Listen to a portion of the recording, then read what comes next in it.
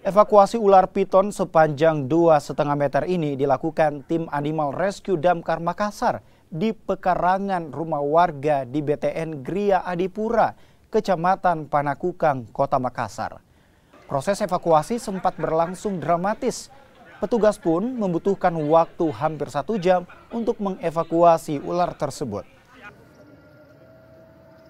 Kalau ini ular piton. Ular jenis piton ya? Uh, iya, jenis piton. Itu di evakuasi di mana tadi?